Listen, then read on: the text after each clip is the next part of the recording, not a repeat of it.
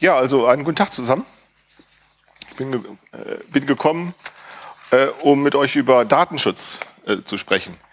Ähm, Datenschutz ist klar, das muss nicht erläutert werden. Ihr wisst, was Datenschutz ist, ihr wisst, warum es Datenschutz gibt, beziehungsweise warum es Datenschutz geben sollte. Ähm, anfangen äh, möchte ich äh, mit einem Zitat von ähm, Peter Schaar, den Namen kennt ihr, das war der ehemalige Bundesbeauftragte für Datenschutz.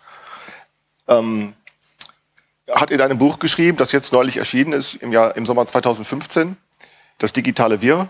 Ähm, und da findet sich äh, folgendes Zitat. Wenn ich als überzeugter Datenschützer weiterhin der Auffassung bin, dass staatlichem und privatem Datensammeln Grenzen gesetzt werden äh, müssen, ist nicht zu leugnen, dass wir von diesem Ziel weiter entfernt äh, sind als vor 20 Jahren.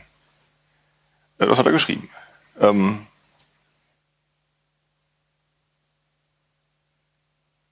alle Bemühungen um Datenschutz, das kann man daraus entnehmen, alle Bemühungen um Datenschutz sind gescheitert.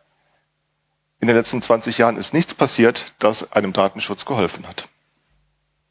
Er stellt fest, dass jede äh, Bemühung gescheitert ist und wiederholt seine Überzeugung, dass Datenschutz wichtig ist. Zunächst handelt es sich bei dieser Art von Überzeugung, äh, äh, bei, dieser, bei dieser Auskunft, äh, um ein, ähm, ein ganz normales Manöver von, von Experten, das ihr kennt. Besonders kennt ihr das von, von Politikern. Ähm, da, da kann man das sehr häufig feststellen, immer dann, wenn sie feststellen, dass sie mit, äh, dass all ihr Wissen und all ihre Bemühungen und all ihre Kompetenz nicht ausgereicht hat, um zu verhindern, was verhindert werden sollte, dann ändern sie nicht etwa ihre Überzeugung, äh, sondern sie wiederholen sie einfach. Ähm, Experten verzichten selten äh, äh, durch widerstreitende Erfahrungen oder durch widerläufige Erfahrungen auf ihre Überzeugungen. Experten geben nicht gerne zu, dass ihre Überzeugungen unhaltbar sind. Und aus dem Buch, das ich gerade genannt habe, geht nicht nur hervor, dass der Datenschutz gescheitert ist, äh, sondern es geht äh, äh auch äh, daraus hervor, dass er, es geht äh, auch nicht daraus hervor, dass äh, er irgendeine Idee hätte, wie es denn gehen könnte in den nächsten 20 oder 30 Jahren. Kein Wort darüber. Ähm, er beschreibt in dem Buch eigentlich nur Dinge, die über die Entwicklungen, ähm, die sich ereignen, in den letzten äh, zehn Jahren. Äh, und das ist nicht sehr interessant, was er da schreibt. Wenn ihr euch damit befasst, wenn du darüber Zeitungen liest oder äh, sonst täglich oder wöchentlich etwas liest, dann bist du über diese Dinge informiert. Er hat in diesem Buch nur die Dinge zusammengeschrieben, die man ohnehin in der Zeitung lesen kann. Also ich kann dieses Buch nicht wirklich empfehlen. Ähm, nicht für diejenigen, die, die sich ohnehin damit befassen. Also es geht aus dem Buch keinerlei Vorschlag hervor, wie es denn in Zukunft gehen könnte. Nun, äh, äh, und trotzdem zeigt er seine, seine, seine Überzeugung äh, und zeigt sich unbelehrbar und unbeirrbar. Normalerweise würden wir solche Unbelehrbarkeiten oder Unbeirrbarkeiten, würden wir normalerweise äh, dem Charakter irgendwelcher Menschen zurechnen, dass wir sagen, die Menschen sind einfach stur oder die sind nicht lernfähig. Oder eine andere Möglichkeit, wie wir solche Unbelehrbarkeiten äh, oder Unbeirrbarkeiten betrachten, ist, indem man das auf den Berufsstand zurechnet und sagt, diese Professionalisierung ähm, die erzeugt irgendeine Art von Betriebsblindheit oder die erzeugt irgendeine Art von, äh, von, von Tunnelblick und die sind dann irgendwie nicht dazu in der Lage, über ihren äh, über ihren Tellerrand hinauszuschauen oder sonst oder ihren Horizont zu erweitern oder sonst oder was auch immer. Wir sagen also äh, meistens, dass solche Art von, von, äh, von Unbelehrbarkeit oder äh, Sturheit, dass das irgendetwas mit Dogmatismus zu tun hat. Ähm, und ähm, ähm, ich halte einen solchen Vorwurf des Dogmatismus oder der Unbelehrbarkeit selbst für dogmatisch. Weil derjenige, der so etwas behauptet, will ja von sich selbst wiederum glaubhaft machen, es besser zu wissen, es besser zu können. Und ähm, äh, wirft anderen eben entsprechend nur Dogmatismus vor. Und ich halte das für wenig, ähm, äh, wenig, wenig interessant, weil äh, das ist ein ganz normales Verhalten von Experten, die wir kennen egal ob wir nun über Datenschutz sprechen oder ob wir über Ökonomie reden oder ob wir über Medizin reden oder ob wir über Ökologie oder was auch immer reden, immer findet man dasselbe, dass ein Experte nach dem anderen es immer besser weiß. Äh, und äh, genau diese, diese Besserwisserei, das ist also sozusagen, das ist die Aufgabe von Experten, das zu tun. Entsprechend kann man äh, sozusagen, kommt man nicht weiter, wenn man ihnen einfach ähm, äh, wenn man ihn, wenn man einfach mit Besserwisserei betreibt, weil dann reiht man sich nur ein in dieses äh, Chaos und in dieses Durcheinander der vielen Experten und dann kommt man nicht weiter. Außerdem meine ich, dass gerade durch diese NSA-Überwachung und nicht nur durch diese NSA, sondern vor allen Dingen auch durch äh, diese äh, Netzmonopolisten, äh, Facebook und Google und, und durch diese vielen äh, Daten, sozialen Netzwerke und diese ganze Digitalisierung. Dadurch ist, meine ich, eine, eine, eine verschärfte Situation entstanden, die erfordert es, die erfordert eine Lernbereitschaft oder die, die, die erzwingt eigentlich eine Lernsituation.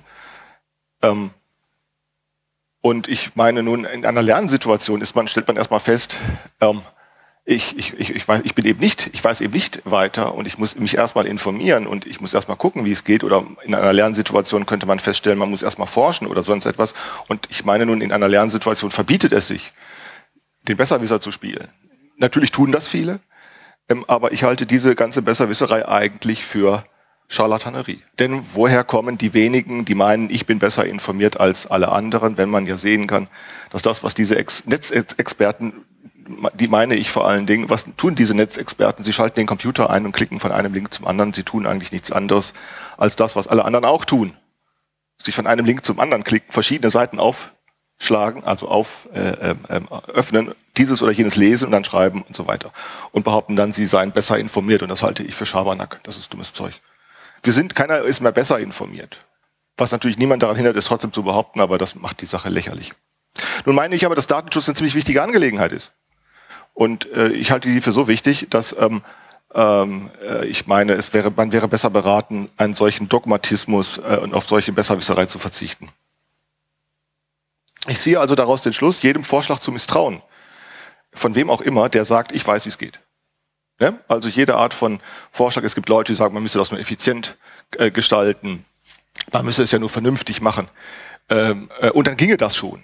Ähm, dieser, ähm, ähm dieser, diese, diese Argumente ähm, sind auch eine Besserwisser-Position, die sie einfach sagen, ähm, alle Arbeit, die in den letzten 20, 30 sagen wir, seitdem der Datenschutz institutionalisiert wurde, seit, sagen wir, 40 Jahren gearbeitet, war, die waren eigentlich alle, die waren eigentlich alles Stümper. Äh, das stimmt nicht, sondern im Gegenteil, da wurde sehr viel gearbeitet, da wurde sehr viel Know-how verbraucht, da ist sehr viel Fleiß äh, im Spiel äh, und sehr viel Engagement und auch sehr viel Professionalität und, und, äh, äh, und diese Annahme, der, diese Einsicht verbietet es zu sagen, die sind einfach nur Stümper und die können nicht effizient oder vernünftig die Dinge äh, begreifen oder regeln.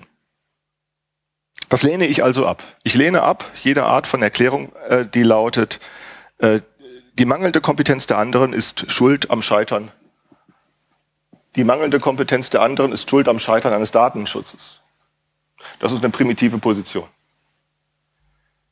Ähm, wenn man also fragt, woran ist der Datenschutz gescheitert, ähm, dann kann das vielleicht sein, dass man eine andere Frage stellen müsste.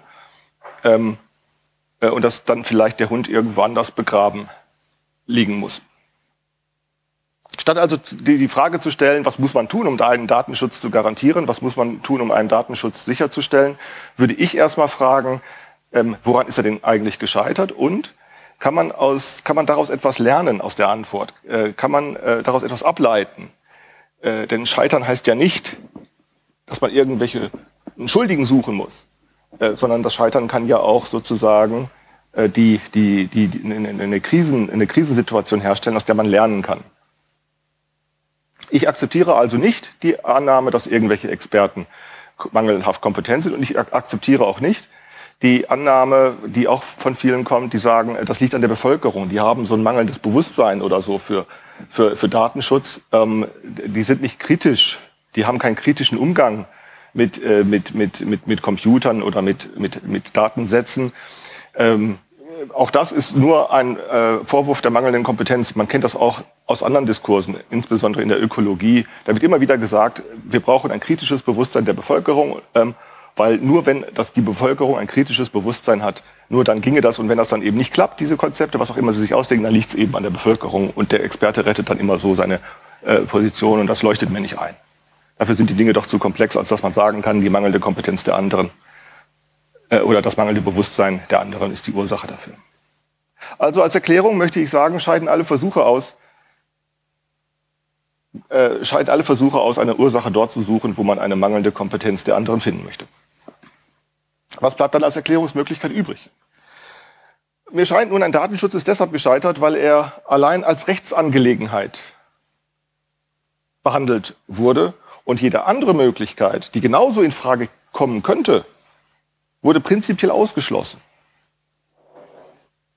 Und das möchte ich kurz erläutern, so gut es eben in der Kürze der Zeit geht. Es gibt im Normalfall, das ist eine völlig alltägliche äh, Betrachtungsweise, die niemanden weiter irritiert. Es gibt im Normalfall immer sehr viele Möglichkeiten, Daten zu behandeln äh, oder Datensätze, zu, sie zu behandeln, sie zu beobachten, sie irgendwie aufzufassen ähm, und zu beurteilen. Natürlich reden wir äh, von personenbezogenen Datensätzen, aber, wir reden, aber es gibt ja nicht nur, nicht nur personenbezogene Datensätze sind Daten, sondern äh, alles andere können wir als Datensätze auch auffassen, beispielsweise Kleidung. Wir können Kleidung als Datensatz auffassen. Ähm, und in welcher Hinsicht behandeln wir diesen Daten, diese Datensätze? In der Regel behandeln wir Kleidung als äh, Geschmacksfrage. Für uns ist Kleidung nur in Ausnahmefällen rechtliche Angelegenheit. In Ausnahmefällen, den kennt ihr vielleicht, äh, eine Lehrerin beispielsweise, wenn die äh, im, Schulunterricht ähm, äh, an sich ein Kopftuch aufsetzt, dann darf sie das, das ist überhaupt kein Problem, wenn sie nämlich äh, das äh, benutzt, dieses Kopftuch als Ausdruck ihres Geschmacks, ihres Kleidungsgeschmacks, dann ist das überhaupt kein Problem. Äh, aber gibt sie ein religiöses Bekenntnis zur Auskunft, ähm, dann kann man ihr das verbieten. Dann kann man also in dem Augenblick, ähm, dann kann man in dem Augenblick den Kleidung als, äh, als Rechtsangelegenheit verwenden. Ein anderes Fall, den ihr auch kennt, sind Haken, die Verwendung von Hakenkreuzen auf Pullovern oder sonst etwas. Man kann äh, das als Geschmacksfrage verwenden, äh, ähm, äh, ansehen, Hakenkreuze, wenn man das so tut, dann wird man feststellen, an dieser Stelle irgendwann hört der Geschmack auf. Äh, und dann kann man sich die Frage stellen, kann man denen äh, das Zeigen von Hakenkreuzen verbieten? Also man kann dann in, äh, aus Kleidung, aus dem Datensatz kann man eine Rechtsangelegenheit machen. Das machen wir in der Regel nicht. Wir behandeln Datenkleidung als, äh, nicht als Rechtsangelegenheit in der Hauptsache als Geschmacksfrage. Aber nur weil wir das tun, heißt das eben nicht, dass das die einzige Möglichkeit ist. Wir kennen das aus dem europäischen Mittelalter. Ähm, das will ich jetzt nicht näher ausführen, aber das habt ihr vielleicht schon mal gehört. Da gab es in den Städten tatsächlich Kleiderordnungen. Die Menschen wurden also tatsächlich dazu gezwungen, das, äh, bestimmte Kleidung zu tragen, zu bestimmten Tagen, um ihren Stand äh, zur Auskunft zu geben. Hm. Kleider getrennt nach Männer und Frauen, nach Arm und Reich und dergleichen. Und wenn die das nicht getan haben, wurden die dafür schwer bestraft. Ja, da wurde also tatsächlich Kleidung als Rechtsangelegenheit verwendet. Uns ist das fremd, aber nur weil uns das fremd ist, heißt das ja nicht, dass es deshalb Quatsch ist. Auch Bilder sind Datensätze, äh, die wir behandeln können als Rechtsangelegenheit. Wenn wir zum Beispiel danach fragen, wem gehört es oder wer hat es gemalt oder ist es eine Fälschung, ne? dann können wir natürlich sagen, das Bild äh, hat dann den Charakter einer, äh, die Behandlung des Bildes hat den Charakter einer Rechtsangelegenheit, ja, das geht. Aber das ist ja nicht die Hauptsache, äh, sondern die Hauptsache ist ja in der Regel, dass wir Bilder als ästhetische Angelegenheit betrachten und dann uns fragen können, ist das Bild schön? Oder so. Äh, und wenn wir sagen, das Bild ist schön, dann ist das eben keine Rechtsangelegenheit.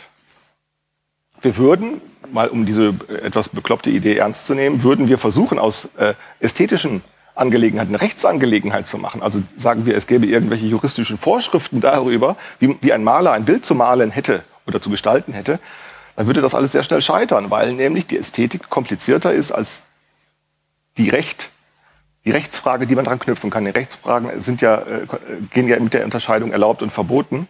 Und wenn man Ästhetik unter dem Gesichtspunkt erlaubt und verboten behandeln würde, dann könnte man entweder nicht sehr viele Bilder malen, oder sie, sie würden alle gleich aussehen, oder sie wären, oder, oder aber man würde ständig irgendwelche Gesetzesübertretungen äh, herstellen. Das gleiche gilt für Müll.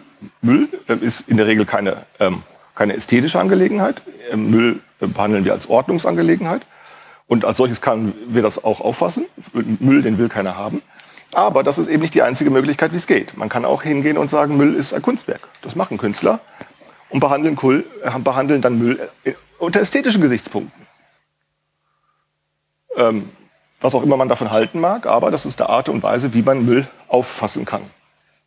Und das führt natürlich dann dazu, und das ist wichtig, dass man Müll und Kunst verwechselt. Und wenn man und diese Verwechslung, die ist dann zwar empörend, wenn also Kunstwerke wie Müll aufgefasst werden, mag ja sein für den Künstler, aber gerade die Verwechslung macht ja darauf aufmerksam, dass man es eben so oder auch anders sehen kann. Ähm, äh, dasselbe gilt für Waffen und äh, Spielzeuge. Was ist eine Waffe, was ist ein Spielzeug? Eine Pistole kann man als Waffe auffassen äh, oder eben auch als Spielzeug oder auch als Sportgerät. Und das ist dann eben tatsächlich nicht dasselbe. Und woran kann man erkennen, dass das sehr verschieden ist? Weil es nämlich dann irgendwelche Leute gibt, die kommen und sagen, das kann man vertauschen. Also wer beispielsweise Krieg spielt, wer Waffen benutzt zum Sport oder zum Spiel, der könnte vielleicht auch dazu in der Lage sein, Krieg zu führen oder Menschen damit zu erschießen. Ja, könnte sein. Aber Das hat keine Notwendigkeit. Nur weil eine Verwechslung möglich ist, heißt es nicht, äh, die Verwechslung informiert darüber, dass man die Dinge verschieden betrachten kann. Und dann gilt, dann werden wir, wenn wir das so weitermachen, verschiedene Datensätze, da können wir alle nehmen, die uns äh, so einfallen. Computerprogramme, Werkzeuge, Schmuck, Maschinen, aber auch Tiere beispielsweise. Tiere können wir auffassen als ein Teil der Natur. Und wir können sagen, ähm, die sind nicht rechtsfähig, weil man mit Tieren nicht reden kann oder sonst irgendetwas. Also kann man Tiere behandeln wie ein Ding oder wie eine Sache, über die man verfügen kann. Das kann man so machen. Und wenn man es so macht, wenn man es so einrichtet juristisch, dann auf einmal zeigt sich, äh, kann sich zeigen, dass es Leute gibt, die sagen, ja, ist das die einzige Möglichkeit, wie man das betrachten kann? Kann man nicht schon glauben, dass Tiere, Affen beispielsweise, Menschenrechte oder Persönlichkeitsrechte haben dürfen? Ob das vernünftig ist, darüber will ich gar nicht äh, nachdenken. Ich will nur sagen, aha, man erkennt, wenn man das so auffassen kann, dann vielleicht auch anders. Und wir können die Liste fortsetzen. Die Bibel, ne, auch ein schönes Beispiel. Die Bibel kann man als ein religiöses Monument auffassen, wo eine, irgendeine absolute Wahrheit geschrieben steht oder eben als ein Text, den man auf verschiedene Weise interpretieren kann. Alle nur denkbaren Datensätze sind auf jede nur denkbare Weise beobachtbar und behandelbar. Nur personenbezogene Daten. Also ausgerechnet personenbezogene Daten sollen von allen anderen nach den Vorschriften behandelt werden, die Datenschützer im staatlichen Auftrag erlassen und sollen allein als rechtliche Angelegenheit aufgefasst werden und nicht anders. Also nicht etwa als künstlerische oder ästhetische Angelegenheit, nicht etwa als ökonomische oder als medizinische Angelegenheit oder eben als sportliche Angelegenheit ne? Oder schon gar nicht als religiöse Angelegenheit, nein, als juristische. Und wenn man feststellt, das ist ja genau dann der springende Punkt, wenn die äh, dann Datenschützer feststellen, dass man diese Daten, personenbezogene Daten tatsächlich auch anders verwenden kann, zu medizinischen Zwecken beispielsweise oder zu solchen, dann sagen Sie, wir müssen immer danach fragen, ob die Auskunftsverlangen rechtmäßig ist oder ob die Auskunftsverweigerung rechtmäßig ist. Also wenn, dann eben immer nur nach der Unterscheidung erlaubt und verboten. Und nicht anders. Und jetzt, warum ist das eigentlich so? Das leuchtet auch ein, das muss nicht kompliziert erklärt werden. Denn tatsächlich ähm, ist das ja deshalb so, weil wenn diese Datensätze irgendwo gespeichert sind und irgendjemand ähm, unrechtmäßig Auskunft bekommt, diese Datensätze dann verwendet, kann das für die jeweiligen Personen Folgen haben. Und zwar wiederum in rechtlicher Hinsicht. Das ist ja klar. Ähm, die Folgen können also sein, es wird behauptet, du hättest irgendeinen Vertrag unterschrieben oder es wird behauptet, du hättest, du hättest dich da und dort aufgehalten und was auch immer. Und daraus könnte man die nur einen Strick drehen und was. Wir kennen das. Also man erkennt, warum wird also der, ähm, der, der, die Datenschutzangelegenheit als eine rechtliche Angelegenheit aufgefasst. Und jetzt kommt, eine, jetzt kommt eine Schwierigkeit. Das ist nämlich deshalb so, weil es so ist. Weil, weil nämlich die, der Daten, personenbezogene Daten rechtliche Folgen haben können. Ich betone, haben können, ja nicht müssen, aber haben können. Und jetzt kommt der entscheidende Punkt, muss müssen sie als rechtliche Angelegenheit behandelt werden. Das ist eine einfache Tautologie, eine informationsarme Tautologie, das kennt ihr. Eins gleich eins. Ne? Hier ist es nur etwas komplizierter. Hier wird aus der Möglichkeit eine Notwendigkeit gemacht. Weil es möglicherweise eine rechtliche Angelegenheit ist, muss es notwendigerweise eine sein. Und dieser Zusammenhang, der hat einen tautologischen Charakter, ist aber keineswegs notwendig. Der ist keineswegs notwendig. Das ist nur entstanden, weil es einen Staat gibt, weil es äh, die, äh, die Irritation in der Gesellschaft gibt über die Verwendung von Datensätzen und weil es eben Fragen der Legitimität gibt. Und nur aus diesem Grunde ist es entstanden und nicht aus jedem anderen. Und das heißt, die Zusammenhänge können sich auch eben ändern. Soziologisch gesehen ist es eine komplizierte Frage, wie das eigentlich sein kann, dass aus einer reinen Möglichkeit eine Notwendigkeit wird. Äh, aber die Frage will ich nicht stellen, weil wir sind ja hier nicht auf der soziologischen Tagung. Ähm, ich will nur fragen, ähm, diese, dieser, dieser Zusammenhang ähm, auf den will ich nochmal zu sprechen kommen, nämlich auf diesen zirkulären Verweisungszusammenhang. Die Möglichkeit einer rechtlichen Angelegenheit verweist auf die Notwendigkeit einer rechtlichen Angelegenheit. Ich hatte am Anfang äh, Peter Schaar zitiert äh, mit der Einschätzung, dass eben ein Datenschutz gescheitert ist. Und er hält dennoch fest, daran fest, dass es eine Notwendigkeit hat. Könnte man nun an, an eben diesem Scheitern des Datenschutzes ablesen, dass der Sachzwang, von dem die Rede sei, und von dem Datenschützer gerne sprechen, dass dieser Sachzwang, einen Datenschutz herzustellen, vielleicht gar nicht in der Weise gegeben ist, wie Sie es gerne behaupten möchten. Es gibt ihn eigentlich gar nicht. Wenn wir die Zeit hätten, was wir heute nicht haben, ähm, ähm, mal einen Überblick äh, zu bekommen über die Entwicklung des Datenschutzproblems, dann werden wir feststellen, dass das Datenschutzproblem, sagen wir, in den letzten 30 Jahren niemals gelöst wurde, sondern es wurde eigentlich immer nur größer. Das kann, kann man an diesen Datenschutzskandalen ablesen. Jeder Datenschutzskandal, das war ja immer dann, wenn irgendwelche unbefugten Datensätze irgendwo veröffentlicht wurden oder freigelassen wurden oder was immer. Jeder Datenschutzskandal war immer größer als die Skandale vorher, was eben damit zusammenhängt, dass natürlich auch die Technologie immer leistungsfähiger wurde, die Daten zu verarbeiten. Ähm, so dass eigentlich im Laufe von 30, 40 Jahren ähm, der Datenschutzskandal, äh, die Daten, ein Datenschutzskandal sich nach dem anderen abwechselte ähm, und, ähm, und immer größer wurde. Und mit dem Internet haben wir nun die Situation, meine ich, dass wir keine weiteren Datenschutzskandale mehr haben, sondern wir haben eigentlich nur noch einen einzigen, und das ist das Internet selbst. Das Internet würde ich deshalb beschreiben als den größten anzunehmenden Datenskandal, den es gibt. Und ich kann mir nicht vorstellen, dass es noch größere, dass es noch größere Datenschutzskandale geben könnte. Also das Problem ist ständig größer geworden und wurde nie gelöst. Und welche Folgen das gegenwärtig hat, kann man eben nicht genau beantworten. Also wird, und das ist eben genau der Punkt, auch der Datenschützer wissen es nicht, sie wiederholen einfach, äh, was sie schon vor 20 Jahren gesagt haben, ohne angeben zu können, wie es geht. Und was können wir daraus lernen? Wir können daraus lernen, dass die Datenschützer weder Daten schützen, noch, dass sie geeignete Konzepte haben, wie es gehen soll. Sie schützen die Daten überhaupt nicht, denn dafür sind sie, sie erlassen nur irgendwelche Vorschriften, die in irgendwelchen Gremien diskutiert werden, dann in Parlamenten beschlossen werden und daran sollen sich dann andere halten. Und wenn die das nicht tun, die anderen, dann schreien die immer Skandal und rufen Empörung und rufen nach neuen Gesetzen. Und warum geschieht das wiederum, diese äh, Skandalisierung und Empörung von Datenschützern, die geschieht, um eben diesen informationsarmen Zirkel zu verdecken, von dem ich gerade gesprochen habe, ne, um eben aus dem, was nur möglich ist, eine Notwendigkeit zu machen, wiederholen sie ständig ihre Empörung und skandalisieren, um eben diesen informationsarmen Tautologie zu, zu verdecken. Und die bemerkt man dann übrigens auch nicht mehr. Ne, also Datenschutz wird nicht gebraucht, um Daten zu schützen, sondern um diesen zirkulären Verweisungszusammenhang zu verdecken beziehungsweise zu unterbrechen? Und äh, so entsteht dann auf einmal die Einsicht, dass Daten allein, dass personenbezogene allein als ähm, rechtliche Angelegenheit betrachtet werden müssen.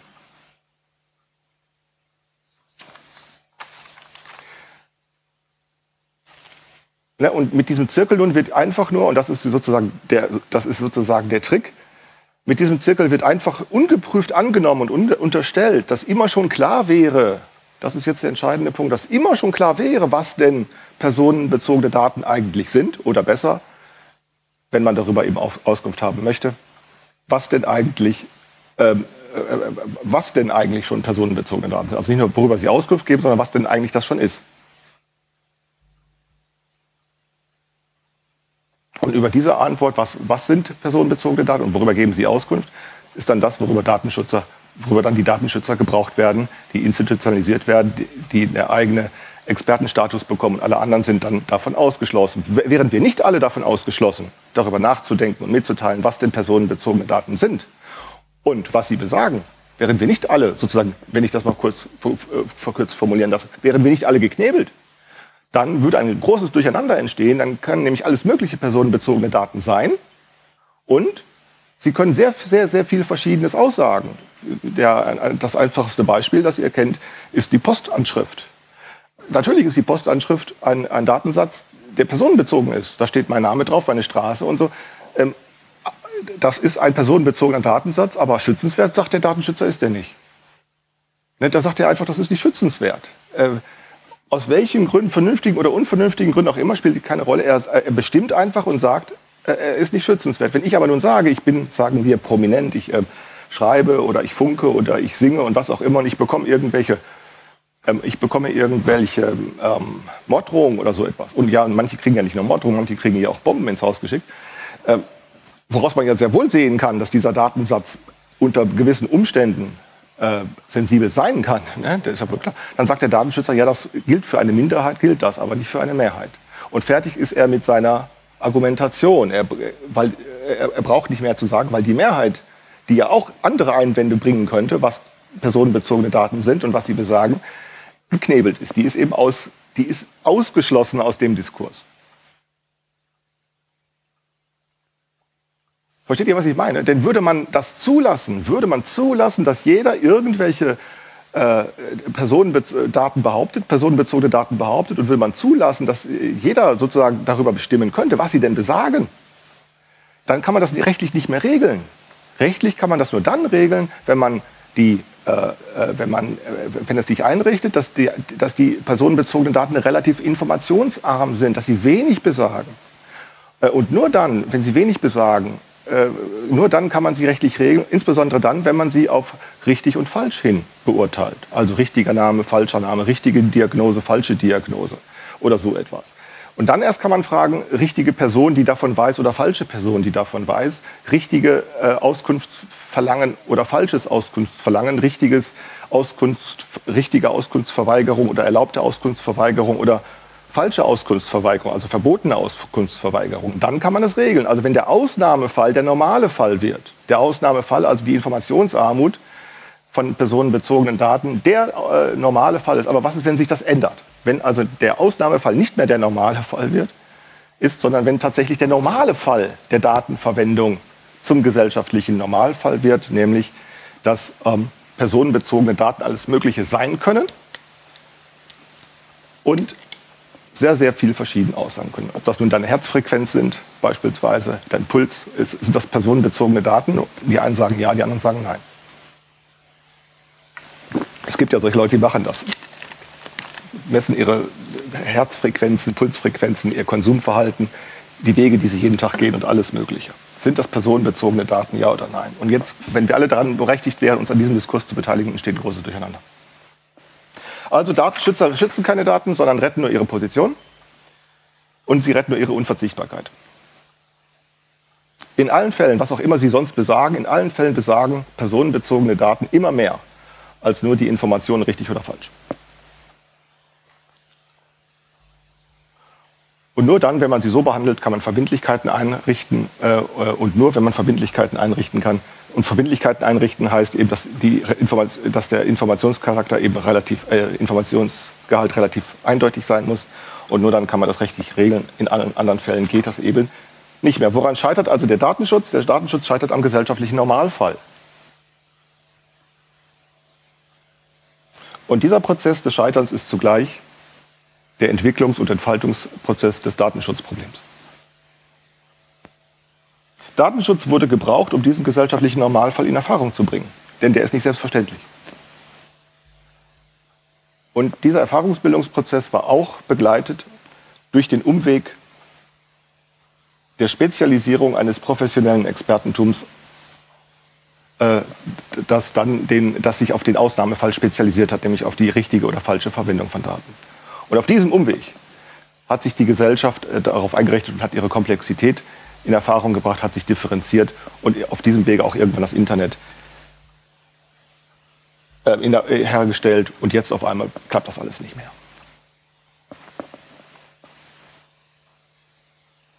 Ich will damit also keineswegs sagen, dass Datenschutz äh, nicht funktionieren könnte. Nur er könnte, wenn wir glauben, äh, wenn wir, was auch immer wir meinen, wie er funktionieren kann, bestimmt nicht auf dem Wege, dass staatlich äh, eingestellte oder staatlich bezahlte ähm, Datenschützer irgendwelche Vorschriften darüber erlassen, wie es geht.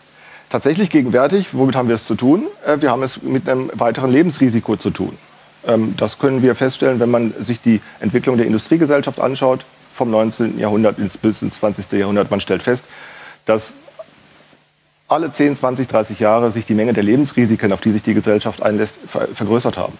Und keines der bekannten Lebensrisiken, die durch die Industrialisierung entstanden sind, sind je beiseite geräumt worden, sondern sie wurden immer professioneller behandelt.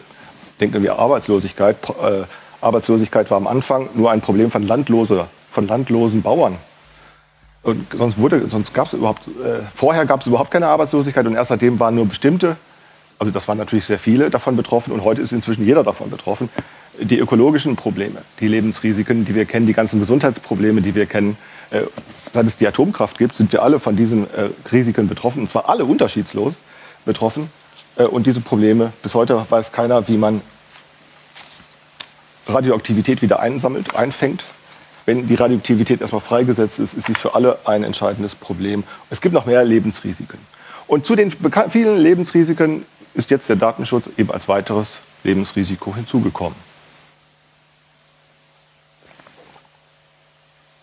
Ich weiß noch nicht, wie man dieses Risiko minimieren kann. Es gibt natürlich Leute, die sagen, man könne das, ja, man könne irgendwelche Software installieren. Äh, das kann man sicher, aber ich habe da doch Zweifel, äh, denn die Software ähm, braucht relativ informationsarme äh, äh, Input darüber, was, was denn herausgegeben wird und was nicht. Das heißt immer nur richtig und falsch. Äh, etwas Drittes, also Schalter auf und Schalter zu oder wie man das auch immer nennen möchte, etwas Drittes lässt sich durch eine Software nicht regeln. Insofern glaube ich nicht, dass Softwarelösungen die können eine, einem ein recht gutes Gewissen verschaffen, sagen, ich habe meinen Datenschutz sichergestellt. Aber ich glaube nicht, dass man damit gesellschaftlich und politisch Datenschutz regeln kann. Also ähm, ich glaube, dass wir lernen können, wenn wir lernen, dass äh, personenbezogene Daten eigentlich nur im Ausnahmefall, eigentlich nur im Ausnahmefall rechtlich zu regeln sind. Und dann kann das auch funktionieren, im Normalfall eben nicht. Was eben nicht heißt, dass kein Datenschutz funktionieren kann, sondern eben nur nicht auf rechtlichem Wege. Das wollte ich sagen. Danke.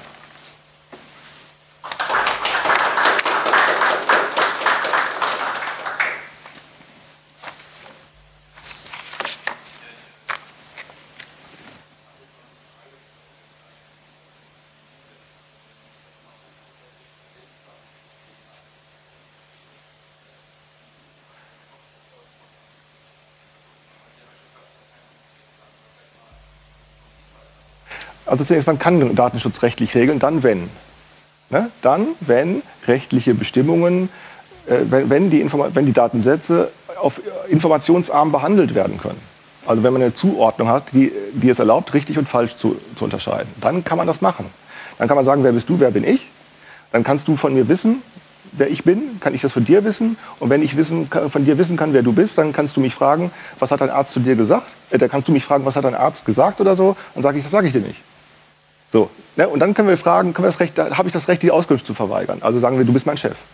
Ne? Aha, ich weiß, wer du bist, dann weißt du, wer ich bin, dann bin ich der Angestellte. Dann kann ich sagen, okay, du hast kein Recht, das zu fragen. Und wenn du es fragst, dann muss ich keine Ankunft, Auskunft geben. Ne? Das ist klar. Unter diesen Bedingungen kann es funktionieren. Wenn wir wissen, womit wir es zu tun haben. Aber was ist, wenn wir es, wenn wir es nicht so genau wissen? Wenn also weder das Auskunftsbegehren bekannt ist, ja, wenn nicht einmal ein Auskunftsbegehren vorliegt und wenn die Auskunftsverweigerung überhaupt nicht funktioniert. Wenn also die Leute massenweise Daten preisgeben, was tun sie ja bei Facebook, hm, massenweise oder bei Google massenweise Daten äh, freigeben, äh, ohne, ohne dass irgendjemand gefragt hat oder ohne dass es irgendjemand verlangt hat. So ist das. Es ist ja nicht so, ne, dass du den Computer einschalten musst und erstmal deine Daten mitteilen musst. Das musst du nicht. Ja, aber die Leute machen es. Und in dem Augenblick, wo die Frage nach berechtigter oder unberechtigter Auskunft, äh, Auskunft äh, verlangen oder Auskunftsverweigerung, wo diese Frage keine Rolle spielt, lässt sich das rechtlich nicht mehr regeln. Ich, ich weiß, verstehst du, was ich meine? Nein, das ist eigentlich gar nicht abstrakt. Das liegt nur daran, weil wir uns sozusagen auf diesen Ausnahmefall in unserer Wahrnehmung spezialisiert haben. Der Ausnahmefall, ich wisse immer schon, worum es geht. Ist doch klar, wenn ich weiß, weiß ich auch, wenn ich sage, ich bewerbe mich in meine Arbeitsstelle, ich gehe zum Arzt, ich gehe zur Apotheke, ich fahre mit dem Auto über die Straße, die, die, Straßenverkehrsregeln sind mir bekannt, der Apotheker ist mir bekannt, der Arzt ist mir bekannt, der Lehrer, Schüler, mir ist alles bekannt. Dann weiß ich, mit wem ich es zu tun habe und dann kann ich auch wissen. Ich, ich kann wissen, wenn ich irgendwo aufschlage, ich bin Kunde zum Beispiel oder ich bin Angestellter oder ich bin der Chef oder ich bin ein äh, oder wer auch immer. Und ich kann wissen, dass die anderen das von mir wissen. Ja, wenn wir solche Verhältnisse haben, dann kann man das einigermaßen gut regeln. Aber was ist, wenn diese, wenn diese gesellschaftliche Sicherheit des, des, des Wissens um Rollen, des Wissens um Räume, des Wissens um die Frage, haben wir überhaupt einen Vertrag miteinander? Haben wir überhaupt einen? Wenn wir das überhaupt nicht mehr wissen, dann glaube ich nicht, dass wir das rechtlich regeln können. Und, und, vielleicht brauchen wir es dann auch nicht mehr. Aber das ist eben nur eine Frage. Um das kurz noch zu sagen, wir haben zu Facebook und zu Google kein Vertragsverhältnis. Du hast zwar geklickt, angeklickt, AGBs akzeptiere ich, aber du weißt kaum, was da drin steht. Und die wissen auch, dass du das nicht weißt, was da drin steht. Und die wissen es vielleicht selber auch nicht. Also du hast eigentlich gar kein Vertragsverhältnis, weil du bezahlst nichts und es wird dir nichts geliefert und du schuldest denen nichts und die schulden dir eigentlich auch nichts. Ähm, äh, ne? Also welches Vertragsverhältnis gibt es da eigentlich? Und wenn jetzt versucht wird, das rechtlich zu regeln, kommt eine ganze Menge Quatsch bei raus. verstanden, ähm, dass du meinst, dass wir das Problem haben, dass wir im konkreten Fall leicht entscheiden können, fast immer leicht entscheiden können, äh, was richtig und falsch ist, was unsere Daten ähm, angeht, unsere Datenübermittlung oder Freigabe, Preisgabe, aber dass wir nicht in der Lage sind, das für abstrakte, generische Fälle oder Fallklassen zu. Wir wissen doch gar nicht mehr, wer überhaupt Daten sammelt. Also wir kennen Google und Facebook. Aber wir, sind, wir wissen doch, dass das nicht die einzigen sind. Und wir wissen nicht, wer diese sammelt, wer sie weitergibt, wer sie verknüpft, wer sie sortiert. Wer sie, denn es werden ja, auch, werden ja auch Daten verkauft und verkauft. Wir wissen das alles nicht mehr. Wir wissen nicht mehr, wer das in die Hand kriegt. Und wir wissen schon gar nicht mehr, was sie eigentlich sammeln. Also bei, bei Facebook und bei Google ist es ja so, jeder Klick wird irgendwie aufgezeichnet. Also da, ja da gilt ja eben dieses Prinzip, Sie löschen eigentlich gar nichts mehr. Und dann stellt sich doch die Frage, was wissen Sie denn eigentlich noch über dich oder über dich oder über mich? Was wissen Sie denn noch, wenn du schon gar nicht mehr weißt, wer Sie eigentlich sind? Also Sie, die anderen. Ja, das ist irgendeine imaginäre Sphäre. Äh, du weißt auch gar nicht, wo die Datensätze gespeichert sind. Also nicht einmal das. Ich habe ganz banal mich mal versucht zu erkundigen. Ich schreibe einen Blog wo liegen eigentlich, ich habe das fremd gehostet bei WordPress und ich habe mich einfach nur mal gefragt, wo steht eigentlich der Server, auf dem diese Texte, die ich schreibe, abgelegt werden. Das war eine echte Suche. Also und ich bin mir nicht sicher, dass ich, also ich meine, irgendwo in Atlanta stehen angeblich die Server, aber ich bin mir keineswegs sicher. Ich bin mir keineswegs sicher, äh, dass die Auskunft äh, verlässlich ist. Vielleicht auch in Kalifornien oder sonst wo. Aber das nur als Beispiel. Äh, ne, du weißt doch überhaupt nicht mehr, wo diese Daten liegen, was da für Daten liegen und, und, und, und, und, und du weißt auch gar nicht mehr, was, was sie doch besagen, etwa dein Klickverhalten oder dein Konsumverhalten. Du kannst dein eigenes kennen, sicher. Aber das heißt nicht, dass irgendwer anders, der dein Konsumverhalten beobachten würde, dann auf gleiche Weise über dein Konsumverhalten informiert ist, wie du es bist. Das ist damit keineswegs gesagt.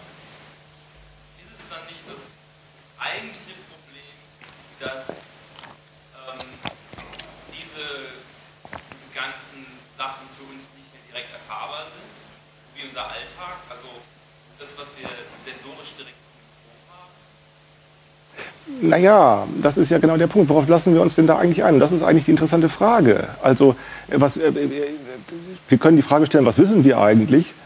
Wir können aber auch die Frage stellen, was können wir nicht mehr wissen? Und ich glaube, dass wir das eigentlich auch nicht mehr wissen können und ähm, dass, dass wir das nicht mehr wissen können. Äh, und die Frage, und das ist eben nur eine Frage, die ich in Klammern setzen würde, äh, und im Konjunktiv formulieren äh, wollte, die Frage könnte ja auch müssen wir, also bräuchten, vielleicht brauchen, bräuchten wir es vielleicht auch gar nicht mehr zu wissen. Sicher, man kann sagen, wieso, das ist doch, wenn das doch irgendwer in die Hände kriegt, na ja, wir wissen es doch, nicht wahr, dass die mit den Geheimdiensten beispielsweise operieren. Wir wissen doch, dass da Willkür im Spiel ist. Wir wissen doch, das stimmt, dass diese äh, Daten, diese, diese, diese Geheimdienste, dass die nicht mehr die Bereitschaft haben, sich an Gesetze zu halten. Das wissen wir doch. Äh, und das stimmt, das glaube ich auch. Ähm, aber die haben ja genau dasselbe Problem auch.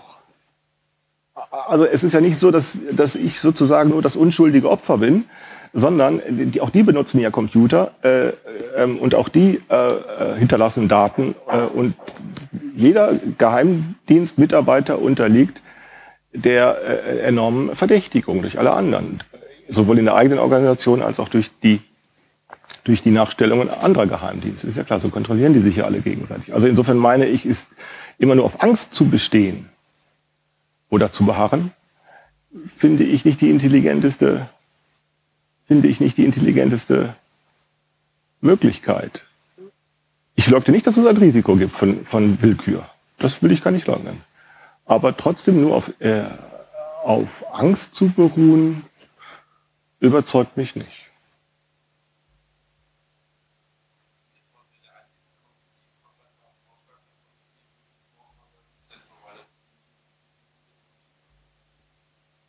Glaube ich nicht. Das, warum?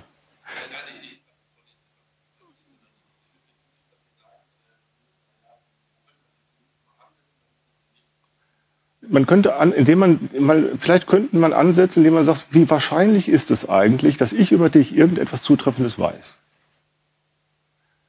Also man könnte mal sozusagen äh, eine Unwahrscheinlichkeitsannahme äh, formulieren und sagen, wie wahrscheinlich ist es, dass irgendjemand über mich irgendetwas herausfindet, von dem derjenige sagen kann, es stimmt.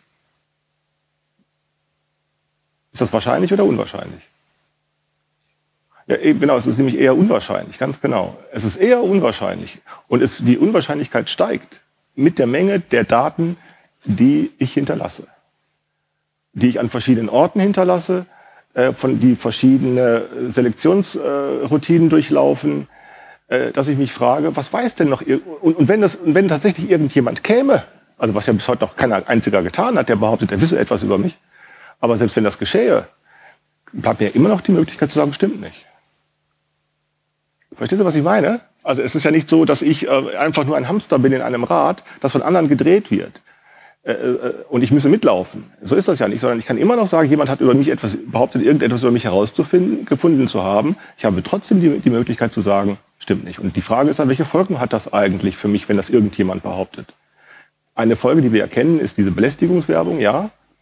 Das ist eine Folge, aber ich glaube, dass wir damit gut zurechtkommen. Eine andere Folge ist die Polizeiwillkür. Das ist ein Risiko. Und welche anderen Folgen?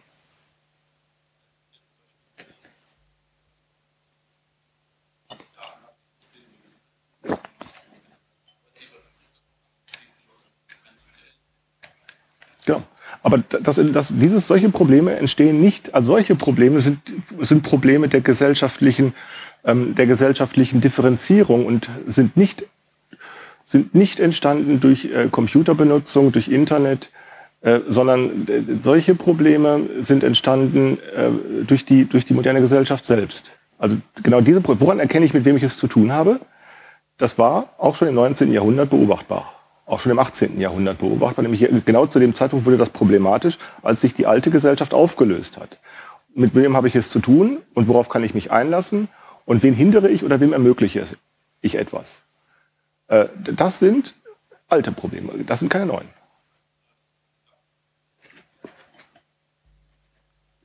Also da werden Informationen behandelt und es findet, was du meinst, das findet, da, finden, da, finden Exklusions, äh, da finden Exklusionsmechanismen statt. Also das heißt, man bekommt Kredite nicht, man bekommt vielleicht ähm, Zugang zu bestimmten Berufen nicht, äh, man äh, bekommt äh, oder äh, man bekommt höhere, äh, andere Preise, höhere Preise, die Preise, die man vielleicht gar nicht mehr zahlen kann und solche. Also das sind die, die gesellschaftliche Differenzierung. Ähm, ähm, das findet statt, schon, schon, äh, schon seit 200 Jahren. Und nicht erst seitdem es, sondern durch diese Computertechnik wird das Ganze sozusagen nur auf eine digitale Basis gestellt. Und damit können diese Dinge sich sozusagen, ähm, äh, werden die bekannten Phänomene auf eine andere Weise beobachtbar. Aber neu sind diese Probleme nicht.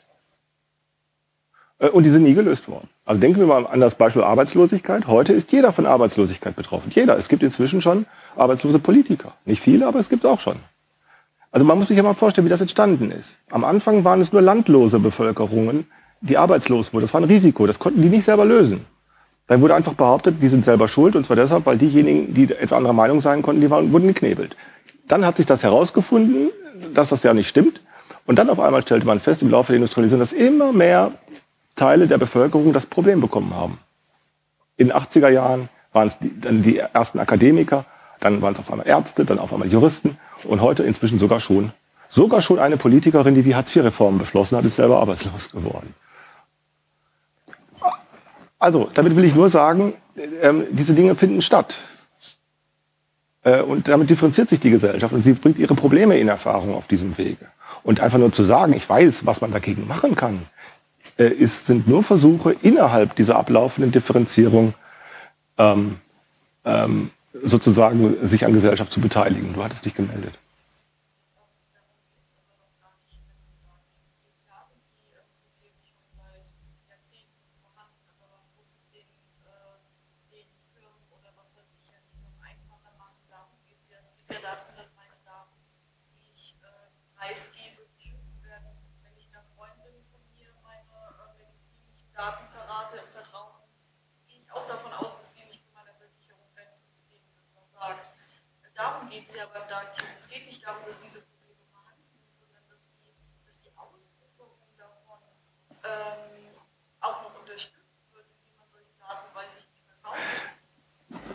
Also noch einmal, ähm, es hängt davon ab, worüber bist du informiert und, worüber, und wie bist du darüber informiert, wie andere informiert sind.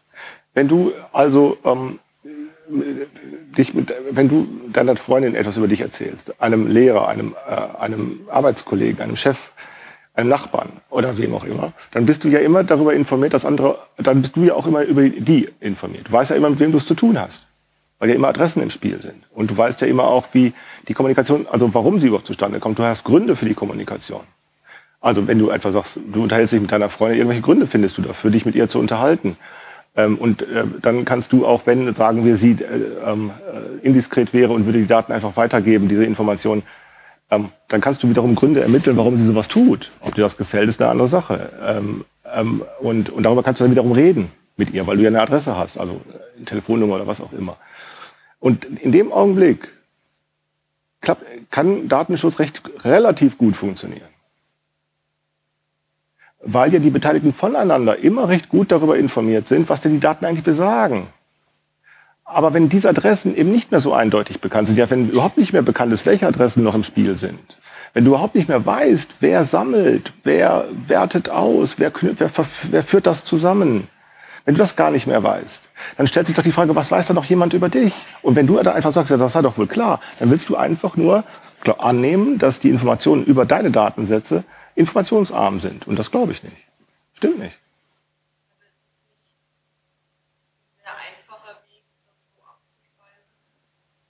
Nein, das, ist, das, macht die Sache kompliziert. Das ist ja genau, weil das, weil, gerade weil das kompliziert ist, geht man dieser Komplikation aus dem Weg und, und, und, und, und reduziert das alles auf einen sehr primitiven und einfachen Standpunkt und sagt, mir ist eigentlich alles über mich selber bekannt. Und mir ist doch wohl klar, was meine personenbezogenen Daten über mich besagen. Und, das mag, und dann würde ich sagen, ja, das mag ja schon sein. Aber wer will das wissen? Und was weiß dann ein anderer?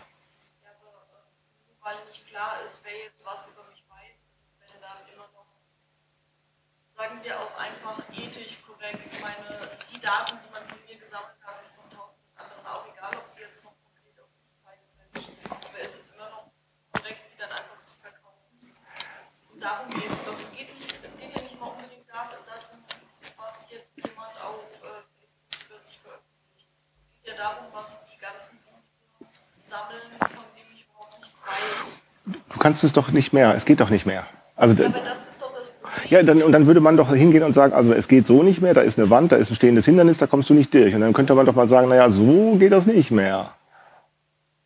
Und dann könnte man sich dann doch die Frage stellen, wie könnte es denn gehen? Und das ist dann eine Lernfrage und nicht etwa eine Frage, äh, ich weiß schon wie und setze es dann durch. Es wird eben nicht, du kannst es eben nicht durchsetzen. Du kannst was auch immer du für vernünftig halten möchtest. Du und auch die Piratenpartei ist nicht dazu in der Lage, da irgendwas durchzusetzen. Du kannst nicht für jeden PC einen Überwachungsapparat, eine, eine Überwachungsfunktion äh, einschalten und zu sagen, ich überwache, ich überwache die vollständige Ein- und Ausgang von irgendwelchen Daten und ich überwache, ob die richtig oder falsch mitgeteilt oder eingesammelt werden. Das geht nicht. Die Überwachung funktioniert so nicht. Ich weiß nicht, ob du das verstehst. Es funktioniert nicht. klar, dass das nicht funktioniert. Ich wollte auch kein Gerät vor meinem Computer geschaltet haben, was alles genau. weil das ist ja auch gesagt war. Aber, genau. Ähm, ich verstehe schon, dass es schwer ist, das zu kontrollieren, dass da nichts Falsches rein oder rausgeht. Aber ähm, aus dem Grund kann man doch, also ich finde den Ansatz einfach an klar, dass man da, dass es schwierig ist, da was zu machen. Warum, ich will mal so fragen, warum hältst du es eigentlich für wenig naiv zu behaupten, es sei, äh, es sei wenig naiv, es sei eigentlich selbstverständlich, dass man etwas dagegen machen müsse? Warum eigentlich? weil nicht selbstverständlicherweise, weil, das, weil, weil nicht selbstverständlicherweise es irgendwelche Folgen hat. Von welchen, über welche Folgen die deine Datenpreisgabe für dich hat, bist du eigentlich informiert. Ja, du kennst sie gar nicht, ja eben. Du kennst sie. Ja, ja, aber du willst was dagegen machen. Dann frage ich mich. Also du weißt ja nicht einmal, womit du es zu tun hast. Dann weißt du, aber, aber etwas dagegen machen willst du. Warum hältst du das für wenig naiv?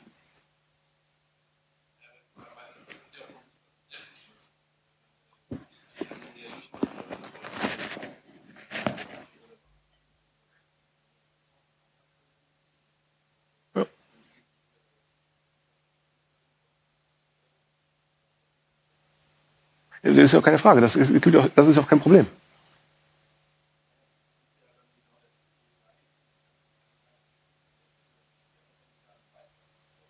Aber das ist ja nicht problematisch. Dann tust du es eben. Aber der, der Punkt ist ein anderer. Du kannst dich doch dagegen wehren. Oder du kannst es versuchen. Denn das Recht dazu hast du ja. Aber du wirst mir doch zugeben, dass du, im, dass du an dem gesellschaftlichen Problem durch deine Intervention nichts ändern kannst. Ja, das, das ist eben die Frage, ob das individuelle Angelegenheiten sind. Wenn das ja so wäre, so hätten wir es ja gerne. Ja, aber du weißt, dass deine, individu dass deine individuellen Maßnahmen gesellschaftlich nichts ändern. Genau, das, darüber bist du informiert. Ja. Ich glaube, dass das äh, Problem der Modellierung ist. Also wir ähm, haben den Datenschutz, der äh, an bestimmten Nadelöhren angesetzt hat, wo die Daten also durchflossen, ausgeweitet auf die vielen tausend, hunderttausend Millionen von Nadelöhren, die, die wir heute haben. Also überall laufen die Daten durch. Beim Mobiltelefon, von Mikrofonen um mich äh, von meinem Rechner, äh, von allen Behörden und so. Überall laufen die Daten durch und es ist einfach nicht mehr äh, mit dem, dem, dem, dem Datenschutz zu modellieren. Und das ist das, was ich von dem, von dem Vortrag verstanden habe. Dass es deswegen nicht adäquat ist als Mittel den Datenschutz auszudehnen auf diese äh, neuen, viel mannigfaltigen Bereiche, dass wir einen neuen Ansatz brauchen.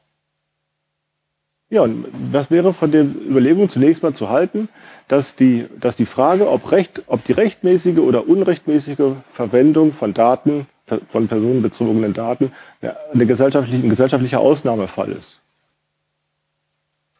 Was, was ist von der Überlegung zu halten? dass der gesellschaftliche Normalfall ein anderer ist.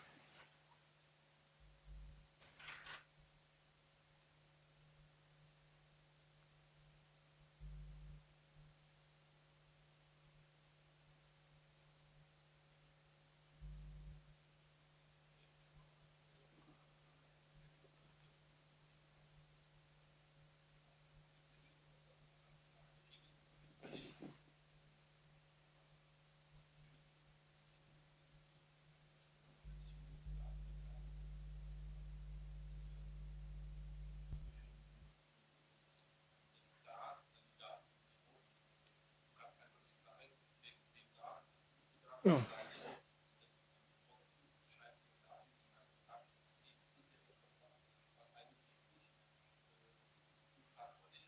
Ja.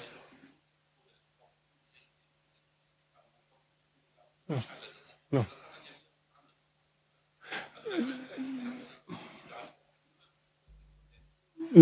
Nö, das, das ist ja so ein Versuch, wie wir es dann gerne machen. Wir sagen dann immer gerne mangelnde Kompetenz. Ne? Stümpertum, mangelnde Kompetenz, wir sagen dann, äh, oder, äh, oder mangelnde Nachdenklichkeit oder so etwas. Äh, aber schon diese Fälle, wo, wo man zunächst sagen könnte, wieso, hier ist doch rechtlich eigentlich ganz viel, äh, hier ist doch eigentlich ganz viel bekannt über die Beteiligten. Und wenn über die Beteiligten ganz viel bekannt ist, dann ist auch etwas bekannt über den Informationsgehalt von Datensätzen. Und wenn auch darüber etwas bekannt ist, dann ist auch klar, was sie besagen. Und dann müsste es doch eigentlich, wenn die das dann nicht tun, könnte man es ihnen verbieten. Und wenn man, wenn sie sich trotzdem nicht dran halten, könnte man sie bestrafen. Dann würde ich sagen, ja, das kann man ja machen. Und das geschieht ja teilweise auch. Ähm, aber das löst das Problem nicht, damit wird es nur verdeckt. Das ist genau das, was wir, ähm, ähm, äh, das ist genau das, das ist diese Bestrafung ist, ähm, die Soziologen nennen das, das ist, das nennt man Strukturschutz. Also die Bestrafungshandlung ist dann immer der Versuch, die Struktur zu schützen, weil man erkennt, dass es, äh, weil man erkennt, dass es auch anders gegangen wäre. Äh, du kennst die schöne Geschichte vom, äh, vom Kunstfälscher. Der Kunstfälscher fälscht ein Bild, äh, der kann das sehr geschickt machen. Ähm, und ähm, jetzt bietet er diesen Datensatz zum Verkauf an und behauptet, äh, dieser oder jene berühmte Maler hat ihn gekauft, er hat, er hat das Bild gemalt. Und jetzt kommen die Experten, schauen sich dieses Bild an und sagen, ja toll, das ist ein ganz wunderbares Bild, das war bisher nicht bekannt oder so gucken, untersuchen dieses Bild und sagen, ja, das Bild ist echt. Ne? Und jetzt geben die eine, ein Gutachten ab äh, und jetzt geht es auf den Markt und jetzt wird es gekauft. Und jetzt kommt auf einmal heraus, dass sie sich alle getäuscht haben. Und was passiert nun? Es wird jetzt nicht die Frage gestellt, wie war denn der Betrug möglich, sondern es handelt sich um Betrug und der Fälscher muss betrogen werden. Dass der Experte, der das Gutachten schreibt, dass der ja an dem Betrug eigentlich beteiligt ist und dass ja der Käufer selbst an dem Betrug beteiligt, er macht ihn ja mitmöglich. Es ist ja so, der, ne, der, nicht nur der Fälscher macht den Betrug möglich, auch der Experte, der Gutachter macht den Betrug, auch das Auktionshaus macht den Betrug möglich, auch der Käufer macht den Betrug möglich. Ähm, alle sind daran beteiligt, aber weil nun auf einmal alle daran beteiligt sind, da heißt es auf einmal, was ist hier geschehen? Und jetzt sucht man nach dem Schuldigen und man findet den Fälscher. Und der wird jetzt bestraft. So. Und, und, äh, beim, äh, und warum? Damit nämlich das ganze, damit dieser ganze Zirkus, also durch Bestrafung dieses Fälschers, wird nun der ganze Zirkus gerettet. Das heißt, es kann dann nach selben Muster immer weitergehen. Ne? Man behauptet einfach, der Fälscher sei der Verursacher dieser ganzen Irritation und nicht etwa das ganze Geschehen. Das ganze Geschehen hat es ja hergestellt. Und mit der Verwendung von Datensätzen oder auch von personenbezogenen Daten ist es ja genauso. Man geht dann hin und sagt, wir unterscheiden mal zwischen legitim und nicht legitimer Auskunft verlangen und Auskunftsverweigerung. Und wir tun so, als wenn das der normale Fall, der einzig äh, relevante und normale Fall wäre. Und jetzt, wo wir feststellen, dass die Frage nach Legitimität gar nicht der normale Fall ist, das tun wir, das fangen wir sofort ein Rechtsproblem an, nämlich wir fangen an zu bestrafen und sagen, um die Rechtsfrage zu, äh, um die Rechtsangelegenheit zu retten, wird jetzt der, der oder der bestraft. Und jetzt kann das Ganze weiter geschehen, ohne dass irgendetwas an dem Problem gelöst wird. Was die Datenmanipulation oder der sogenannte Datenmissbrauch ja herstellt, ist ja genau das, was im, im Kunstbetrieb der Kunstfälscher macht. Er macht nur darauf aufmerksam und sagt, seht ihr Leute, ihr habt es eben nicht im Griff. Ihr habt es nicht im Griff. Und der Kunstfälscher ist keineswegs der Verursacher, weil er nämlich nichts machen könnte, wenn die anderen nicht mitmachen. Und das ist mit dem sogenannten Datenmissbrauch genauso. Das kann nur funktionieren, wenn alle mitmachen. Und nicht nur etwa die Versicherungsgesellschaft, die aus welchen Gründen auch immer die Daten irgendwo hinkopiert, wo sie nicht hingehören. Du verstehst, was ich meine. So, ist, das nicht. Und wir gehen dann aber hin und sagen, die werden jetzt bestraft, um den ganzen Zirkus zu retten. Und dann würde ich sagen, dieser ganze Zirkus ist nicht zu retten.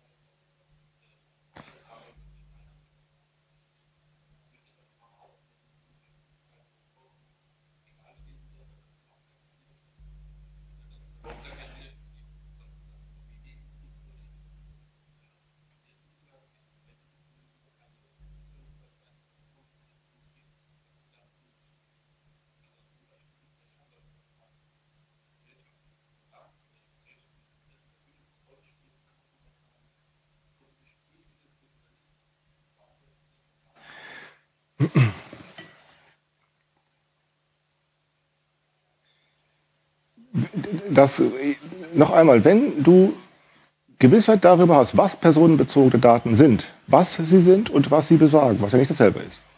Wenn darüber einigermaßen klar ist, schon darüber haben wir ja keine Klarheit, aber wenn, wenn du glauben kannst, dass das einigermaßen klar ist, dann möchte ich sagen, dann kann man das auch regeln, ja.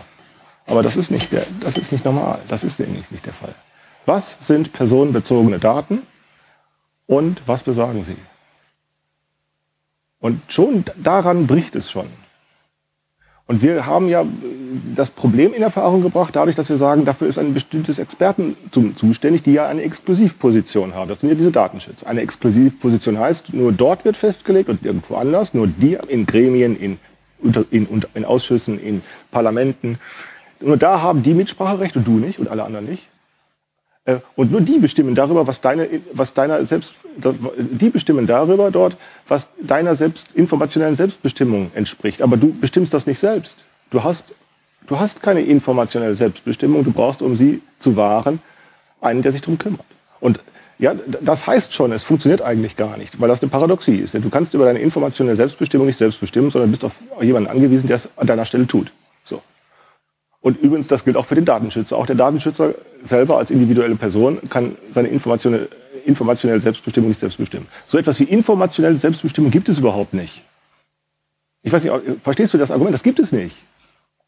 So, und jetzt könnte man ja sagen, wie schrecklich das ist. Wir sagen, naja, wie schrecklich ist es denn? Ja, wie schrecklich ist es denn? Es ist nicht so, dass wir jeden Tag Angst haben müssen, die Straße zu betreten. Es ist nicht so, dass du Angst haben musst, dass du den Computer einschaltest oder, oder so. Es ist nicht so, dass du Angst haben musst, wenn du äh, einen Kreditvertrag oder einen Versicherungspolice unterschreibst. Das ist nicht so. Denn, denn wenn wir diese Angst hätten, dann würde das alles gar nicht funktionieren. Also es ist keineswegs so, wie die Datenschützer gerne sagen, die ja sagen, wenn, wenn, wenn Datenschutz nicht funktionieren würde, dann würden wir alle in die Gefangenschaft von irgendwelchen, äh, von irgendwelchen Raubrittern kommen, die mit uns machen, was sie wollen. Das stimmt nicht. Das ist nicht wahr. Ich leugne nicht, dass es äh, auch, auch in Zukunft beobachtbar äh, eine, eine, zunehmende Polizeiwillkür gibt. Geben wir, das glaube ich. Übrigens. Äh, das kann, werden wir in Zukunft beobachten.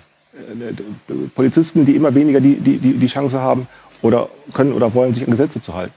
Aber ähm, äh, auch dann, wenn man das beobachten kann, heißt das nicht, dass die Angst vor sogenanntem Datenmissbrauch die einzig interessante und relevante Beobachtungsposition ist.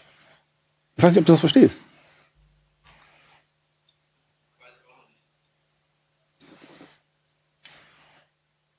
Denn tatsächlich fragen wir doch mal ganz empirisch, wie groß ist deine Angst, wenn du den Computer einschaltest? Und Antwort, die ist nicht sehr groß.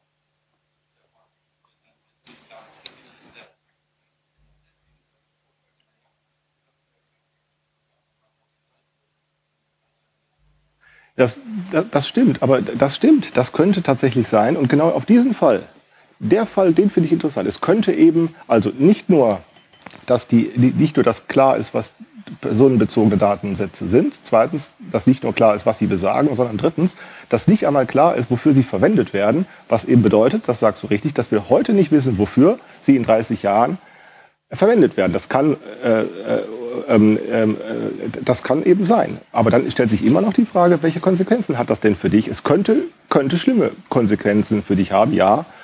Aber das ist nicht die einzig relevante und nicht die einzig interessante Position. Das ist nicht so. Denn du musst ja sehen, dass nicht nur du dieses Problem hast, sondern alle anderen auch. Und es ist nicht nur so, dass du schlecht darüber informiert bist, wie die Dinge äh, zusammenhängen, sondern alle anderen auch. Und übrigens auch, auch Eric Schmidt. Der hat, der, der hatte, man muss sich ja nun wirklich vorstellen, durch welche Gehirnwäsche wir uns auch gefallen lassen. Der hatte, dieser Eric Schmidt von, von Google, der hat doch ernsthaft behauptet, äh, das wird, dieses Zitat findet man in der Presse, irgendwann hat er behauptet, 2011, wir wissen, wer du bist, wir wissen, wo du wohnst, wir wissen, wo du warst und wir wissen auch mehr oder weniger, was du denkst. Das hat er behauptet. Das wird zitiert. Und diese Gehirnwäsche lassen wir uns gefallen. Statt zu, zu fragen, sagen, die können das überhaupt nicht wissen. Das kann der nicht wissen. Der kann nicht wissen, wer ich bin. Der kann nicht wissen, wo ich war. Der kann nicht wissen, was ich denke. Verstehst du? Das stimmt nicht. Aber genau diese Hirnwäsche lassen wir uns und äh, solange wir uns das gefallen lassen, diese Hirnwäsche, haben wir immer wieder, haben wir immer wieder diese Angst davor, was da wohl Schlimmes auf uns zukommen könnte. Facebook wisse alles über dich, die wissen nichts. Das stimmt nicht aber eben mit dieser Gehirnwäsche sozusagen, und die, die betreiben wir ja so alle gegenseitig. Wir stecken uns alle mit dieser Gehirnwäsche an, statt das mal sein zu lassen. Und mal auf praktische, auf praktische, auf pragmatische Dinge zu reduzieren. Das machen wir dann nicht. Gut, ich nehme mal an, die Zeit ist vorbei. Weil ihr kommt, ihr wollt wahrscheinlich zu der nächsten Veranstaltung, ne? Ja.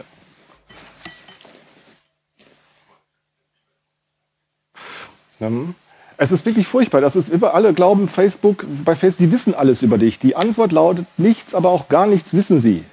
Es hat doch mal so einen Spaßvogel gegeben, der hat, äh, der hat sich an Facebook gewendet und er wollte herausfinden, Facebook sollte ihm mal mitteilen, also das Unternehmen sollte ihm mal mitteilen, welche Daten es über ihn hat. Also er wollte von dem Unternehmen wissen, welche, welche Daten er dem Unternehmen mitgeteilt hat. Das haben die ihm nicht gegeben. Äh, und dann hat er prozessiert und dann hat er, äh, dann hat er einen Prozess angefangen, den hat er gewonnen, dann kriegte er eine PDF-Datei mit 20 Seiten.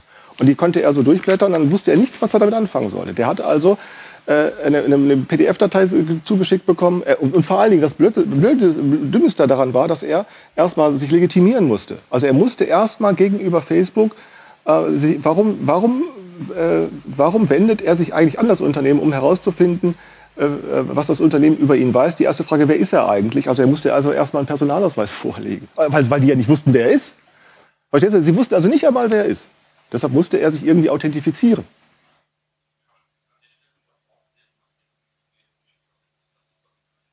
Ja, das weiß man eben alles nicht. Das ist, sie wusste nicht einmal, wer er ist. Deshalb musste er ja erstmal, er musste ja erstmal äh, äh ein Authentifizierungsverfahren äh, durchlaufen. Er musste erstmal sagen, wer er ist.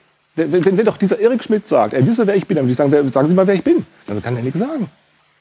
Er weiß nicht, wer ich, wer ich bin. Verstehst du? Das ist doch genau dieser Punkt. Der hat sich an das Unternehmen gewendet, um herauszufinden, was das Unternehmen über ihn weiß. Und die haben, die erste Frage war, war, von denen war, wer bist du eigentlich? Ja? So, und dann hat er eine PDF-Datei gekriegt und dann konnte er auf, aufgrund dieser Datei, also nicht wissen, erstens stimmt, ist das, ist das eigentlich alles? Äh, und zweitens habe ich diese Information durch meine Mausklicks tatsächlich dahinter lassen. Das kann er doch nicht herausfinden mehr. Das heißt, er kriegt also eine Handvoll Glasperlen, kriegt er in die Hand. Er hat eigentlich eine Scheiße zurückgekriegt. Er hat eine scheiß Anfrage gestellt, kriegt Scheiße zurück und er weiß nicht, was er damit anfangen soll. Ja, verstehst du, was ich meine? Und äh, da wird nämlich versucht, dieser Quatsch, der, der kommt deshalb zustande, weil nämlich versucht wird, etwas rechtlich zu regeln, das rechtlich nicht regelbar ist.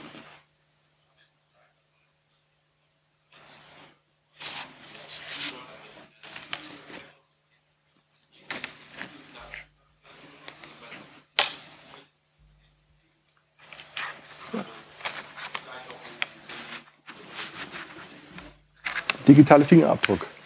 Der digitale Fingerabdruck. Ja, sicher kann auch. Nee, nee, nee. Damit können die etwas über diesen digitalen Fingerprint wissen. Darüber wissen sie etwas. Und darüber wissen sie auch sehr viel. Aber das heißt nicht, dass sie deshalb etwas über dich wissen. Was weißt du denn über mich, wenn du von mir weißt, dass ich einen schwarzen Pullover trage? Was weißt du denn dann von mir? Sicher, gut, aber die, die Frage bleibt immer noch die Frage übrig, was weißt du dann? Und die, die wissen nur über die Daten sehr gut Bescheid. Aber diese Daten über dich sind nicht identisch mit dir. Das ist eben die Frage. Das ist ja genau das, von dem ich sage, dass genau diese Relevanz nicht klar und eindeutig zu erkennen ist. Die ist nicht klar und eindeutig zu erkennen. Wir können das vermuten und wir können Angst davor haben. Aber nur, nur weil wir Angst davor haben können, heißt das nicht, dass wir deshalb Angst davor haben müssen. Was heißt das nicht? Verstehst du das Argument? Und was sie über dich wissen, ist beinahe null. Was sie sehr wohl wissen können, ist über die, das Muster, also sie können ja Muster analysieren, sie können, ähm, sie können analysieren, welche äh, Muster du hinterlässt, welche Benutzungsverhalten du, darüber können die sehr viel wissen. Also die können sehr viel über ihre Daten wissen. Aber was deren Daten über dich besagen, darüber können sie nicht sehr viel sagen. Über ihre Daten können sie sehr viel sagen. Aber damit haben sie nicht sehr viel über dich gesagt. Verstehst du das?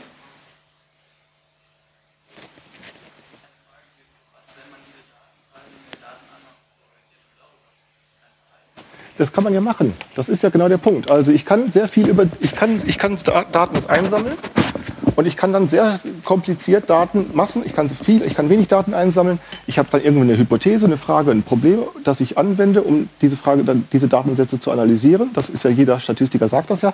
Jeder Statistiker fängt an mit dem Satz, Daten besagen nichts, es sei denn, du stellst eine Frage. Aber diese Frage, die du stellst, die du an die Datensätze heranbringst, diese Frage geht aus den Daten nicht selbst hervor. Daten sagen nichts von sich selbst aus, sondern sie, du brauchst Fragen, du brauchst Probleme, du brauchst Hypothesen, du brauchst halt irgendetwas, worauf du dich hin befragen willst. Und diese Information, also die Information über die Frage, die du stellst, die, dir aus, ne, die ergibt sich nicht aus den Daten selber. Die Daten haben keine Selbstverständlichkeit. So, wo auch immer Sie die her haben, das ist eine philosophisch interessante Frage. Wo kommen Ideen her? Wo kommen Hypothesen her? Wo kommen Probleme her? Das ist eine interessante Frage, egal. Wo auch immer sie herkommen, sie kommt nicht aus den Daten selbst her hervor. Und wenn nun die Daten daraufhin beobachtet werden, die Hypothese lautet zum Beispiel, diese Daten, die ich habe, sind Daten von dir. Das ist eine Hypothese. Dann kann ich jetzt über diese Hypothese mich immer besser informieren. Ich kann sortieren, ich kann äh, filtern, ich kann verknüpfen, ich kann über meine Hypothese so gut, meine Hypothese so gut äh, verifizieren, dass ich fast sagen kann, nee, das stimmt. Ich weiß alles über dich. Das kann ich sagen. Ja, ich kann dann sagen, ich weiß alles über dich. Aber nur weil ich das sage, heißt das nicht, dass das auch für dich gilt. Das ist nicht so, denn ich kann dich ja dann fragen. Ich, ich, ich behaupte nun, ich alles über, ich weiß alles über dich und konfrontiere dich nun mit meinen Ergebnissen. Du hast immer noch die Möglichkeit zu sagen, das stimmt nicht. Und jetzt kann ich, welche Möglichkeit habe ich jetzt nur zu sagen, deine Auskunft ist falsch. Dann mag vielleicht deine Auskunft falsch sein, aber die Frage ist doch immer, also du hast doch immer noch die Möglichkeit zu sagen, es stimmt nicht. Es ist ja nicht so, dass dir das irgendwie äh, chirurgisch weggeschnitten wird, diese Möglichkeit. Die hast du immer noch und da stellt sich immer noch die Frage, welche, welche Relevanz hat es für dich, welche Folgen hat es für dich, wenn irgendjemand behauptet, ich wisse was über dich, ich weiß was über dich. Oder vielleicht sogar, wenn irgendjemand sagt, ich weiß alles über dich. Welche Folgen hat das für dich eigentlich? Eben. Und dieser Erik Schmidt sagt, wir wissen alles über dich, das, das ist dieses bekannte Zitat, wir wissen sogar mehr oder weniger, was du denkst. Dann würde ich sagen, das ist ein Spaßvogel. Aber, aber wir lassen uns das gefallen. Und weil wir uns das gefallen lassen, deshalb, ähm, äh, deshalb äh, irritieren wir uns da und haben, äh, führen komplizierte Diskussionen, statt einfach mal zu sagen, das ist ein Hokuspokus-Trick, den die anwenden. Genau dadurch gewinnen sie nämlich ihre Macht. Dass man ungeprüft diese Behauptung akzeptiert, hinnimmt, ungeprüft, ohne gründlicher und komplexer darüber nachzudenken. Was wissen sie eigentlich? Außer der ständigen Wiederholung, dass sie, dass sie alles Mögliche wissen. Was genau? Antwort? Tja, tja. So, und dann würde ich sagen, an dieser Stelle kann man das Problem versachlichen. Und versachlichen heißt jetzt eben nicht klären, sondern versachlichen heißt jetzt erstmal überhaupt erst äh, darüber nachdenken zu können, dass wir so genau über diese Dinge, über die wir urteilen, gar nicht informiert sind. Erstens, so gut sind wir nicht informiert und zweitens, wir können uns auch so gut gar nicht informieren, denn bei wem und worüber. Und dann würde ich sagen, an dieser Stelle können wir das Problem, wenn nicht lösen, aber mindestens der Versachlichung zuführen. Und Versachlichung heißt dann auf Angst zu verzichten. Und Versachlichung heißt dann eben auch auf irgendwelche Hoffnungen zu verzichten. Äh, und dann sagen, okay, ähm, wie kommen wir damit zurecht? Das wäre mein Vorschlag. Versachliche heißt, gib zu, dass du schlecht informiert bist und gib zu, dass alle anderen es auch sind. Und derjenige, der das leugnet und sagt, ich bin gut informiert, die kannst du beobachten die würde ich unter Beobachtung stellen und sagen, ah, ihr wisst, ihr seid gut informiert, so, so, so, so worüber eigentlich. Die, die unter Beobachtung zu stellen, dann mal gucken, wie die darauf reagieren. Und das lässt sich technisch äh, auch äh, unterstützen durch Softwareassistenten. Ich bin selber kein Programmierer, ich kenne mich damit nicht aus, aber ich halte das technisch für möglich, dass man irgendwelche äh, ähm, Verhaltensmuster erratisch äh, erzeugen kann durch Computerunterstützung, Aufrufen von Seiten, Anfragen, Suchanfragen, irgendwelche äh, Klicks hinter, hinterlassen, die ein erratisches Muster zeigen, Bots programmieren, was auch immer. Ich kenne mich damit nicht aus. Ja, ich bin ja nicht vom Fach. Aber das dürfte möglich sein. Und dann mal gucken, wo sind denn diejenigen, die sagen, ich bin genau informiert, ich weiß das. Ich, ich habe mich mal mit jemandem unterhalten, der hatte diese Twitter-Bots untersucht. Die haben also festgestellt, dass diese Twitter-Bots tatsächlich inzwischen so, so gut sind, dass man fast nicht mehr erkennen kann, die, die Nutzungs-, das Nutzungsverhalten von denen. Ähm, die, das ist so gut inzwischen, dass man schon fast nicht mehr erkennen kann, ob es ein menschlicher Nutzer ist oder nicht. Weil die nämlich keine mathematische Exaktheit in ihrem, ne? Weil die ja keine mathematische Exaktheit in ihrem Gebrauchs-, in ihrem Verhalten zeigen, sondern eben ein Verhalten, ja, das eben tatsächlich erratisch ist, so wie also Menschen sich in der Regel verhalten. Und jetzt stehen sie da und wissen nicht weiter. Und dann würde ich sagen, das ist doch eine gute Nachricht. Ich hat, es hat mal einen schönen Fall gegeben, da haben Leute, äh, da hat es einen amerikanischen Twitter-Nutzer gegeben, der hat behauptet, er würde einen Bot betreiben, der, der sehr gut Antwort geben kann. Also eine künstliche Intelligenz. Äh, und die haben sich mit dem unterhalten per Tweet und die waren alle erstaunt über diese wirklich guten Antworten, die der gegeben hat. Sie haben sich gefragt, wieso, welche Art von Know-how besitzt der, dass dieser Bot also Dinge zur Auskunft geben kann, die er eigentlich nicht wissen kann. Oder ja, dass der gut informiert ist. Und was war der Trick? Das war kein Bot. also er war keiner. Er hat das nur behauptet und hat damit die Leute durcheinander gebracht. Da würde ich sagen, na, schau an. Ne? Und gerade solche Experimente, die sind sinnvoll. Die scheinen mir sinnvoll zu sein, um das Problem beurteilen zu können. Sagen, seht ihr, wir sind schlecht informiert. Wir kapieren es eben nicht.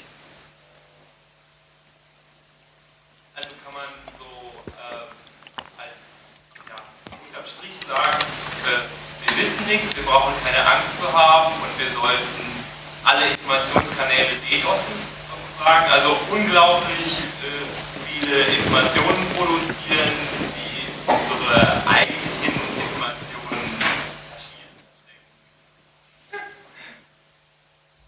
wir wissen etwas, aber alles, was wir wissen, reicht nicht aus, um das Problem verstehen zu können. Wir können etwas, aber alles, was wir können, reicht eben nicht aus, um es behandeln zu können.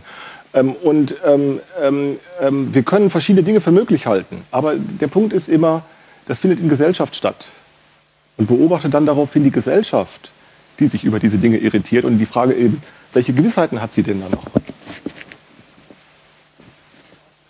Ja, ja ich warte auf ein Ende. Ist äh, nicht da oder so. Ach so, ja, das, Oder er traut, hat sich nicht getraut anzufangen. das tut mir leid. Also